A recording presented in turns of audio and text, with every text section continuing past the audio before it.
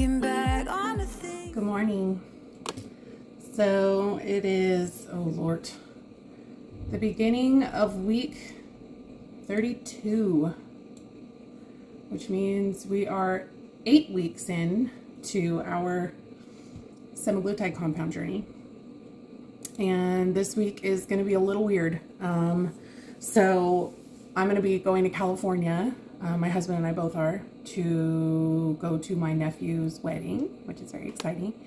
Um, but it also means the week is going to be kind of thrown off from our normal routine. So um, we'll I'll be home. Today's Monday, um, Tuesday, and Wednesday, and I'm going to be just prepping my little butt off to get whatever ready I need to get ready to head out to California. And then I'm going to be, we're going to be flying out Thursday morning at like the butt crack of dawn. Um, I think we have to get up, we have to leave at like 3.45 in the morning to make it to our flight. Normally the Austin airport is pretty like tame, but lately they've been having all these news announcements that you need to be there at least two and a half to three hours before your flight, even if you're not checking bags. So I'm not super thrilled about that, but I mean, it is what it is. It's, I mean, we have a nonstop flight, so travel time really isn't that bad. Um, just kind of stinks to have to get to the airport that early in the morning, but um, so we're going to be flying out early Thursday morning and we won't be back until Tuesday of next week, late Tuesday. So we're going to be gone for about six days. Um, and then next week we will be back to our normal routine come Wednesday. So, um, I'm, I mean, I, I've, I've already been to California once since starting Wegovy, so I kind of already know what to expect.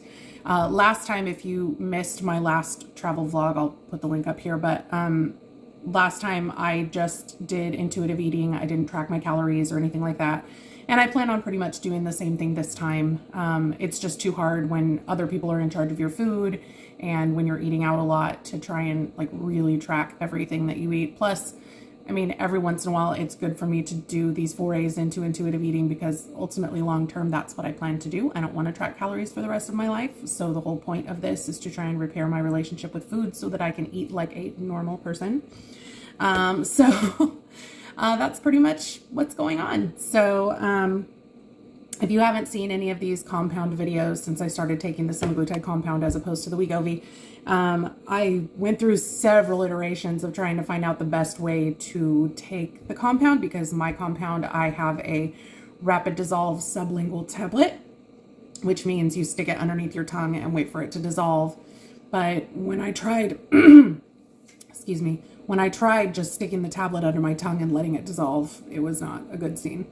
So the thing that we have found that works the best is crushing the tablet up into a powder like these. And then I put some liquid under my tongue, just like a sip of water. And then I kind of pour the powder underneath my tongue and put some more water in the spoon to dissolve whatever's left and stick that under my tongue. And I hold it under my tongue for about five minutes, which is how long the pharmacist at the compound pharmacy said is the optimal amount of time to keep it under your tongue. The reason you keep it under your tongue is because it's actually absorbed directly into your bloodstream through the bottom of your tongue instead of swallowing it where your stomach acid will destroy a good portion of the drugs. I'm sorry if you hear my voice doing weird things. My allergies do this thing from time to time where I'll get dust in my nose and then it feels like I'm suffocating. I'm not. I'm fine. It's just, it sounds weird when I talk. Anyway, so I'm going to go ahead and take this semaglutide compound and um, I let it sit, as I said, under my tongue for five minutes, and then I just swallow whatever's left. And that's the best way I've found to get it into my system. And when I take it that way, it feels pretty much the same as Wegovy did when I was on that. So um, in terms of the, you know, keeping me full for longer and um, all that good stuff. So that's it for today.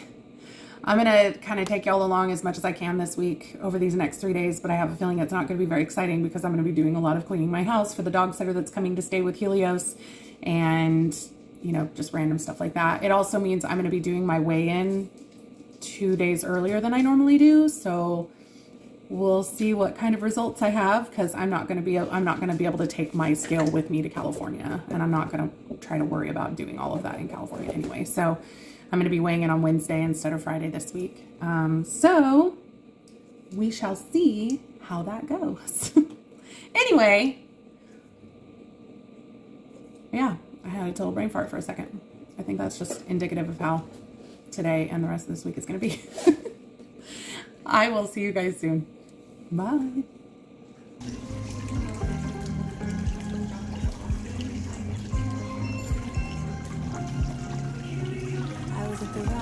Wrong at the right time. 'Cause suddenly there you were those bright blue eyes.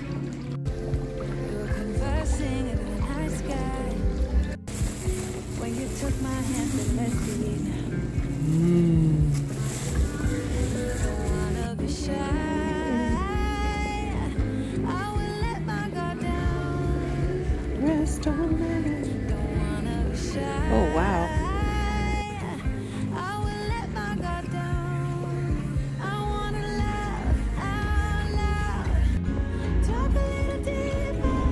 Okay, well, that's the best pedicure I've had in a real long time. If you're in the Round Rock, Texas area, ask for Grace at the Butterfly Nail Bar in the HEB Shopping Center. Anyway, I uh, had a little non-scale victory in there. Um, it's been a while since I've had a pedicure, probably, well, I mean, it's only been a couple of months, I guess, since February, so like three months. Um, but I, I mean, I've never, anytime I've ever gotten a pedicure, when they do the part where they do the paraffin and then they put the hot towels on your legs, the towels have never stretched around my legs. Like they've always had to do weird origami to make the towel stay on. And the towel went all the way around my leg. Like barely, but still. So that was awesome. That was a fun, unexpected non-scale victory today. So.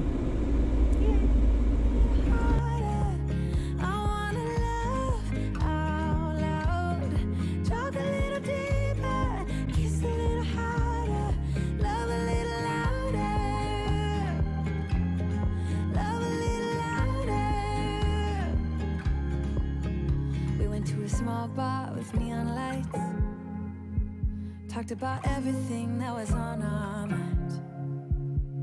Talking to you gave me butterflies. Then you took my hand, said, Let's leave now. Don't wanna be shy. I will let my guard down. Don't wanna be shy. Hey y'all. So we made it through week 32 and but relatively unscathed. And uh, I mean, it's a very short week this week um, in terms of the video. Um, you're going to see my California trip next week, so be sure to stay tuned for that. Um, excuse me. So obviously, I didn't really have a ton to report this week. Um, in terms of non-scale victories, pretty much the only one is that I've had a very busy last few days and I had a ton of energy. I don't know where it came from or how I got it, but I definitely had all the energy I needed to get through all of the things that needed to be done and then some. I mean, obviously, I had some moments where I was feeling tired and everything, but I, I really had a lot to get through over the last several days and I got through all of it. So that was awesome. Um, no new side effects to report. I know that part is getting boring to hear, but I guess my body is just used to it at this point. Um, so, really, the only thing I have to report this week is my results, which were very exciting. Um, in these five days, so like since last Friday, because I'm weighing in two days early, um, I lost 3.2 pounds, and which brings my total to 75.1 pounds overall. So we hit that 75 pound mark, which is very, very exciting for me. Um, and it means that for our second month on the compound, we've lost 5.4 pounds. Am I disappointed in that? Yes. Um, but it kind of just seems to be the way things are going on this compound. Um, I'm still not giving up though. I know we've talked for this, you know, several weeks about how I'm planning on switching back to the injectable version. So we'll see how that does for me, if that gets into my system better or, you know, what, what the dealio is. Um, in addition to the weight loss, Um, in the last four weeks, I also lost a quarter of an inch off of my waist and a half inch from my hips. I also lost more variously like throughout, but that's that's kind of where what I did in the last four weeks, just in my waist and my hips, my bust measurement or my chest measurement stayed the same. Um, so again, guys, I really, really appreciate you watching these videos. Sometimes I have no idea why because I feel like I'm a hot mess when I edit these, but you know, it is what it is. Um, we had a huge spike in views from last Friday's video. I don't know where they came from, but for those of you who are new, welcome. Thank you for taking the time to watch my videos. I hope that they are helpful for you. And I think that's it. Anyway, I hope you all have an awesome week and I will see you in the next one. Bye. we've taken for granted, but feels like we're learning to be better without what's been holding us back now.